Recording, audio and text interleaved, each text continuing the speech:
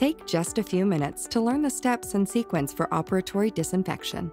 When preparing to treat patients, an important step is to ensure the treatment room is clean and safe for patient care, which means it must be thoroughly and properly disinfected after each treatment visit is completed. The first step is to don personal protective attire. Begin by washing your hands with soap and water or use an alcohol based hand rub. Place your gown and tie it loosely at your neck and waist. If wearing a coat, button or zip it fully. Then place your surgical mask. Place the loops behind your ears and secure the mask snugly over the bridge of your nose. Pull the other end of the mask down below your chin. If wearing an N95 respirator, be sure to place the lower elastic strap at the base of your neck and the top elastic at the crown. Then use both your hands to pinch it evenly across the bridge of your nose and fit it tightly to your face. Next, place your eye protection goggles, glasses with side shields, or a chin length face shield. Don heavy utility gloves to perform the cleaning and disinfection of clinical contact surfaces. This helps avoid puncture injuries and protects your skin from contact with the chemical disinfectant. Now that you have your protective attire in place, you can begin cleaning and disinfecting the treatment room. Start by running a vacuum line cleaner through each suction line, both high and low speed. If preparing for the first patient of the day, flush the dental air unit and water lines with air and water for two minutes before you attach devices such as handpieces and air water syringe tips. Discharge the water into the sink or a cup. Clinical contact surfaces that cannot be cleaned and disinfected must be protected by a fluid-proof barrier, and the barrier must be changed after each patient.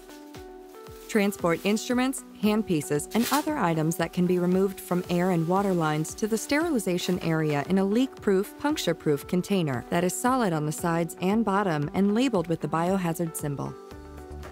Return to the treatment room to clean and disinfect all surfaces that may have been contaminated by patient oral fluids or blood. Cleaning always precedes disinfection to ensure removal of debris, such as oral fluids, blood, and dental materials that may interfere with the disinfection process.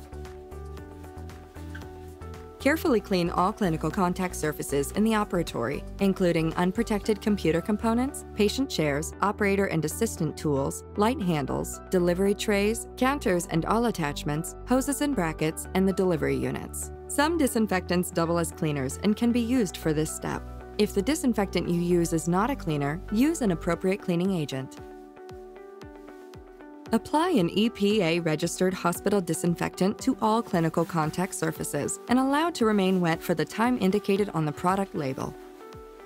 In the presence of blood, be sure to use a tuberculocidal intermediate level disinfectant, also labeled as effective against hepatitis and HIV. For surfaces that are not contaminated with blood, a low level disinfectant labeled effective against hepatitis and HIV is acceptable. Wipe any residual disinfectant free before seating the next patient. Remove your heavy duty gloves and set aside. These may either be cleaned and disinfected for reuse or heat sterilized, as the manufacturer indicates. Immediately following glove removal, wash your hands or use an alcohol based hand rub. Begin to set up the treatment room for the next patient. Replace all plastic barriers and chair covers. Retrieve instruments, devices, and dental materials needed for the next procedure and place them in the dental treatment room. Now you've completed the disinfection cycle. Ensure your protocols are consistent throughout the day to keep your team and patients safe.